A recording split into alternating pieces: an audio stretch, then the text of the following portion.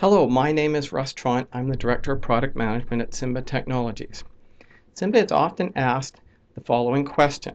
Does Simba Technologies MDX provider for Oracle OLAP support 64-bit Excel 2010? A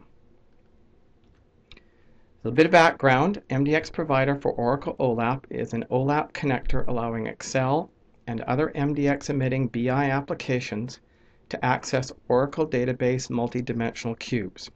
With the recent release of Excel 2010, Simba is often asked these two questions. Does MDX Provider for Oracle OLAP work underneath the new 64-bit variant of Excel 2010? And we're asked, does MDX Provider for Oracle OLAP support Excel 2010's new Sparkline and Visual Slicer features? The answer is yes, our version 2 supports these. Let's see a demo. Here is Excel 2010 Professional Plus Edition 64-bit version and you can see that I have already uh, made a connection to a Oracle OLAP option data cube and you'll see that I can drill down into various dimensions and see lower levels. I've also included a trend using the Excel 2010 Sparkline feature, which is available here. And you can see that these spark lines that I've already inserted do chain or actually do cover the rows that uh, I'm expanding to show. Another feature I want to show is the visual slicer feature that's new to Excel 2010.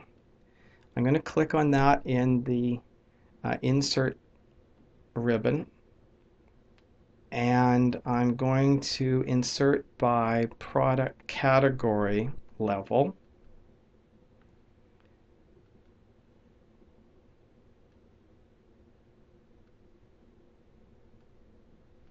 So this is a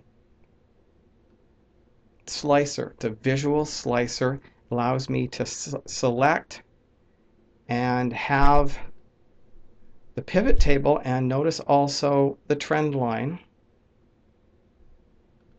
Select which items in this uh, dimension that I want to use. I can also, um, for example, select every second one using control click. I can also select a sub-range using shift click.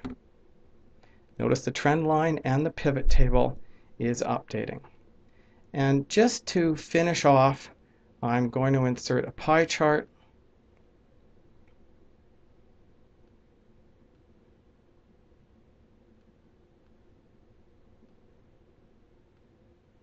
And you can also see that the pie chart will update dynamically as I choose different slicers or shift click different slicer buttons to choose a range.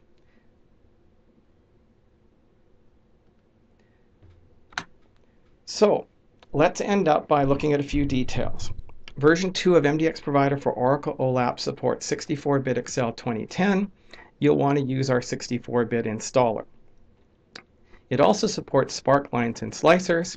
Slicers do require Oracle Database 11.107 with the OLAP B patch or later, or 11.2.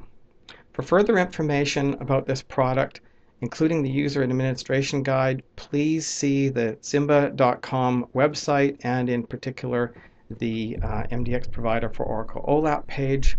Thank you very much for watching.